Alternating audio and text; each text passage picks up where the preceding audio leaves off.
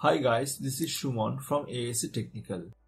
Today I am going to show you how to add PCIe NVMe SSD driver to an offline Windows 7 image.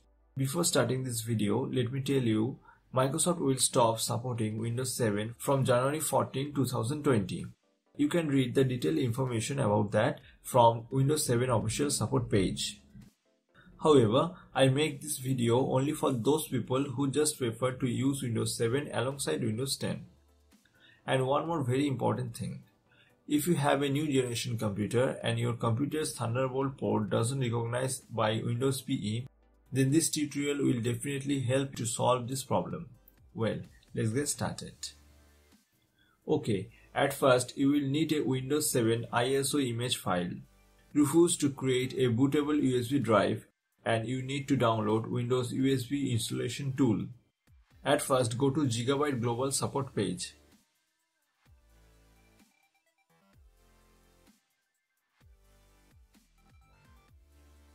Next product support. Next motherboard. Now click on download. Next utility. Now type the keyword Windows USB installation tool and search. OK, now you need to download this tool according to your chipset manufacturer for Intel or AMD.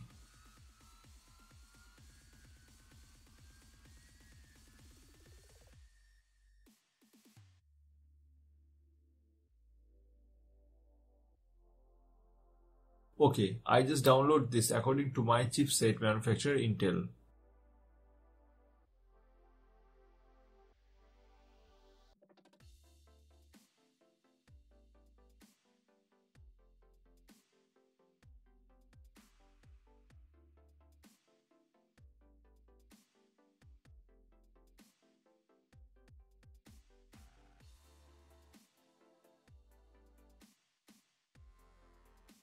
Alright, now insert an empty USB flash drive.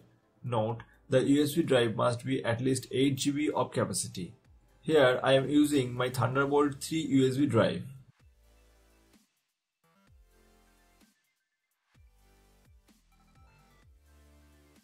Now launch the Rufus.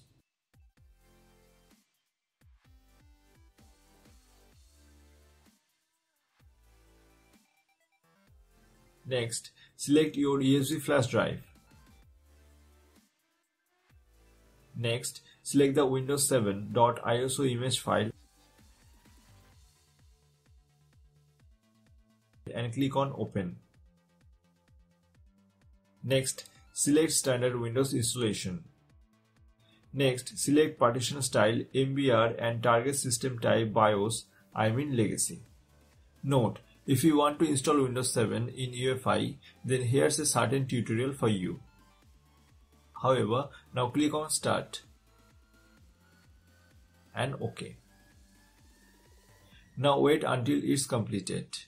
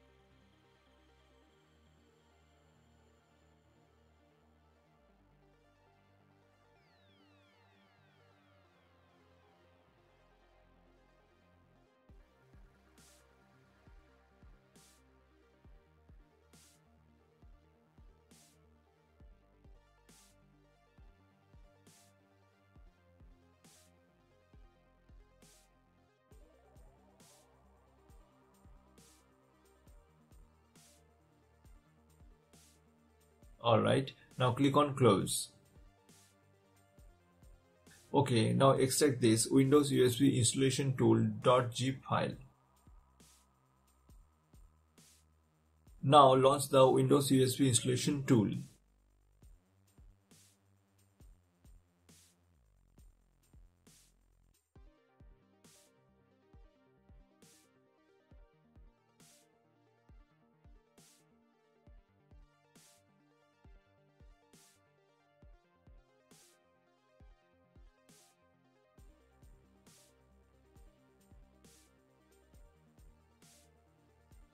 Now click on this drop down arrow to select your created Windows 7 installation media.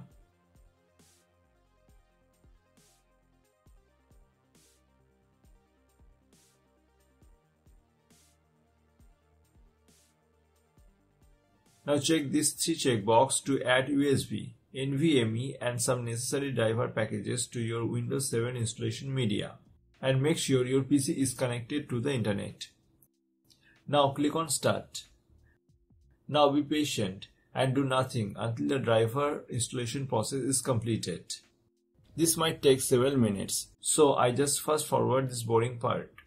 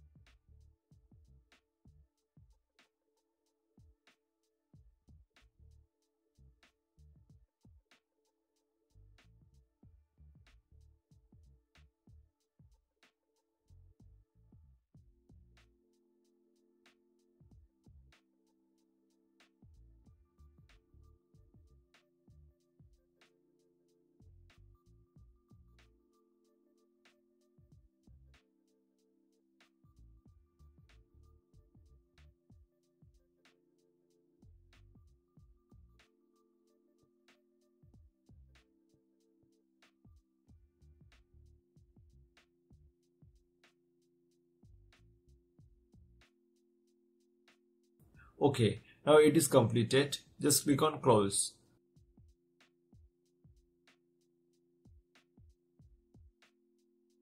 Now this Windows 7 installation media is ready to install Windows 7 on your NVMe SSD. And also this procedure helps to fix device driver is missing related issues during installation of Windows 7. We hope you will like of course, let us know your opinion. If you have any questions, then please let us know. Please like, comment, share. We need your support. And guys, please don't forget to subscribe our channel. Thank you. Thanks for watching. Have a nice day.